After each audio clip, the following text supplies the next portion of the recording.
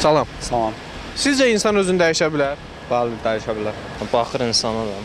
Baxır insan iradəsinə. Yox. Bəli, insan özünü dəyişə bilər. Hətta nəinki sadəcə dəyişmək, istədiyin başqa bir adama çevrilmək də mümkündür. Təbii ki, daxilən, düşüncə, iradə, xarakter baxımından.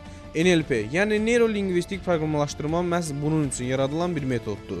NLP arzu olunan məqsədlərə çatmaq üçün insanın özü və başqaları ilə doğru ünsiyyət qura bilmə sənətidir. Bu proqram 70-ci illərin əvvəllərində Kaliforniya Universitetinin tələbəsi Richard Bandler və dilçi, həmçinin ABŞ ordusunun Avropa xüsusi qüvvələrində çalışan, Avropada gizli agent olan John Grinder tərəfindən yaradılıb. Məqsəd uğurlu insanlarla uğursuz insanlar arasında olan fərqi müəyyənləşdirmək və güclü dəyişim dili yaratmaq olub. NLP strategiyasından istifadə edərək insanlar hiss və emosiyalarını tarazlaşdıra bilər, keçmişdə olan pis xatirəni silə bilərlər. NLP göstərir ki, ağılın idarə etməsi insanın öz əlindədir və özünə kömək üçün hazırda o ən effektiv vasitələrdən biridir. Hər birimiz daha özgüvənli, daha xoşbəxt və daha yaradıcı ola bilərik. Həyatdan istədiklərimizi əldə etmək üçün NLP bizə kömək ola bilər. NLP-nin ən böyük üstünlüklərindən biri onun insanlara daxilən dəyişmək, tam başqa bir insan olmaq şansı verməsidir. Bu sahənin mütəxəssisləri əmin edir ki, artıq bu həyatda uğur qazanmış insanların davranışını təkrarlamaqla yaxşılığa doğru dəyişmək, daha uğurlu olmaq mümkündür. Bu texnika çox güclüdür.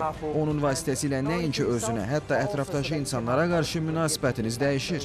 Elə bir enerji qəbul edirik ki, sanki başqa birinə çevrilirik və bu da çox xoşdur. Çox xoşdur ki, işləmə məqsədlərimizi, hədəflərimizi dərk edə bilirik. NLP-nin işgüzar ünsiyyətdə də möhtəşəm rolu var. İnsanlar öz yaşamını təmin etmək, hədəflərini reallaşdırmaq və uğur əldə etmək üçün cəmiyyət üzvləri ilə qarşılıqlı əlaqədədir. Bu əlaqələrin keyfiyyəti onların ünsiyyətinin keyfiyyətindən asılıdır. NLP burada xüsusi dil qəlibləri vasitəsilə təsəvvür edilməz qədər cazibədar və təsirli ünsiyyət modeli təqdim edir.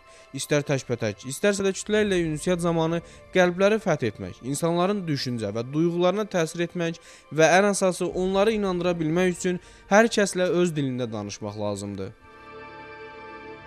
Xüsusən iş həyatında və reklam psixologiyasında e, neyrolingvistik proqramlaşdırmadan, yəni NLP-dən daha çox istifadə olunur. Cəmiyyətə qaynayıb qarışmaq, düzgün ünsiyyət qurmaq, qorxu, stress, fobiyalardan qurtulmaq, gücləndirici ruha sahib olmaq üçün NLP doğru seçimdir.